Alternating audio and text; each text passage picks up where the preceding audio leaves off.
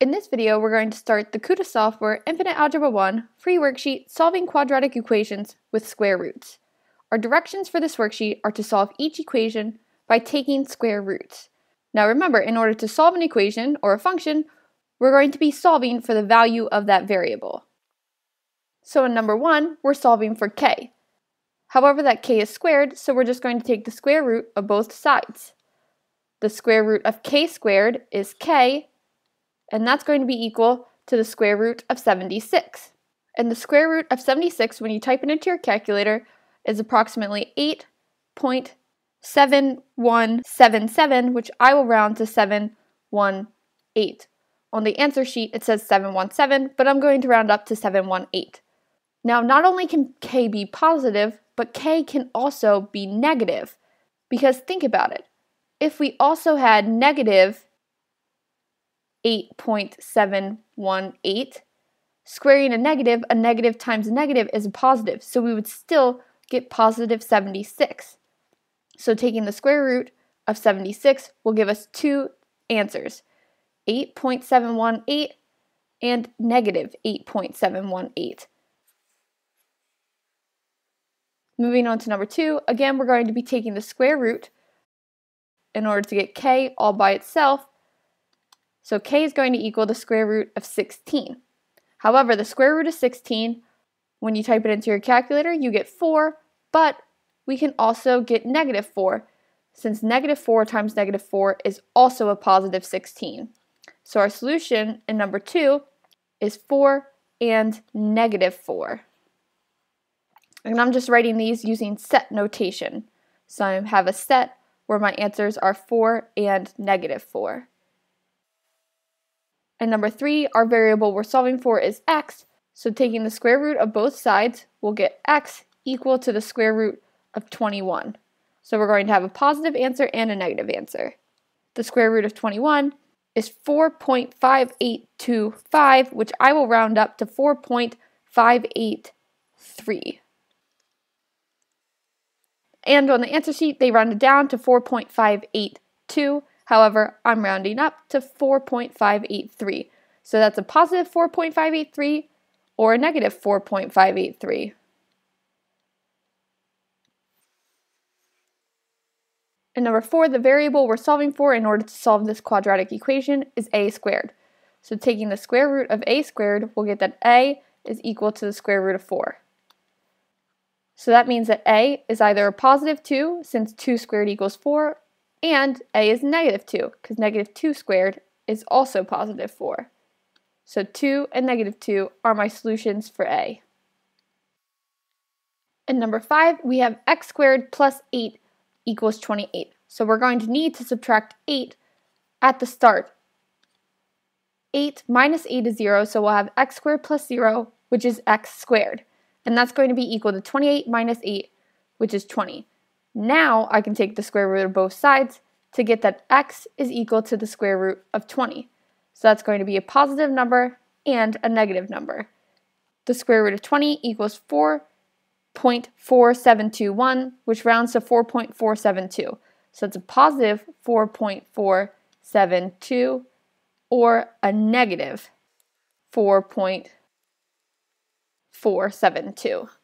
That's my solution and number 5. Number six, we're going to start by dividing by 2. And when we divide by 2, we'll get that n squared is equal to negative 144 divided by 2, which is negative 72. Now we're going to take the square root of both sides, and we'll get that n is equal to the square root of negative 72. But remember that any number squared, whether it's negative or positive, will always be a positive number. Therefore, we cannot take the square root of a negative number. That will not give us a real solution. Therefore, in number 6, we have no solution. And if you try to type that into your calculator, the square root of negative 72, it will also tell you that it's a non-real answer.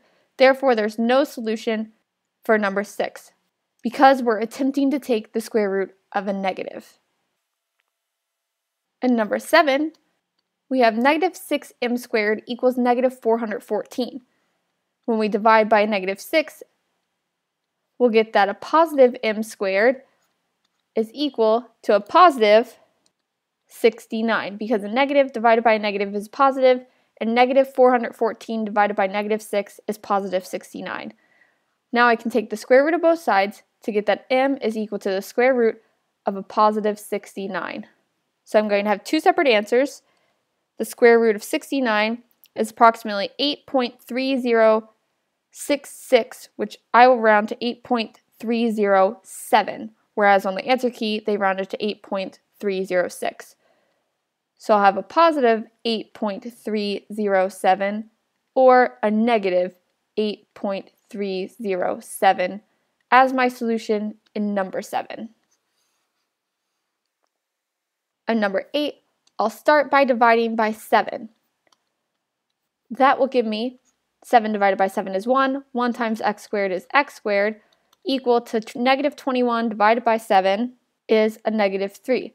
But look, when I take the square root of both sides in order to isolate the x, I'll get that x is equal to the square root of negative 3, which we discussed you cannot take a square root of a negative number and get a real answer. Therefore, there is no solution in number 8.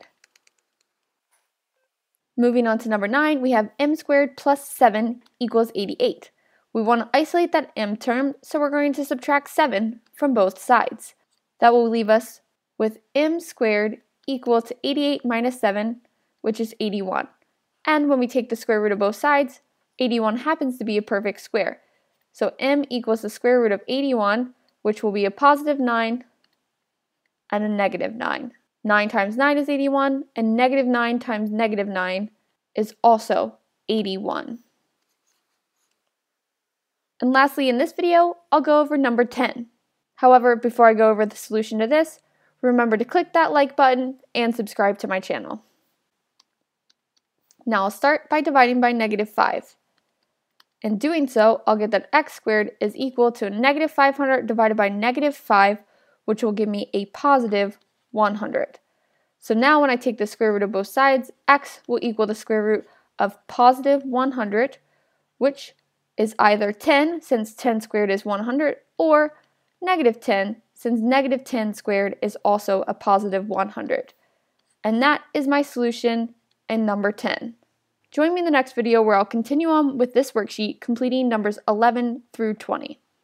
If you have any questions, leave them in the comments below. And if you didn't do so before number 10, like, subscribe, and share.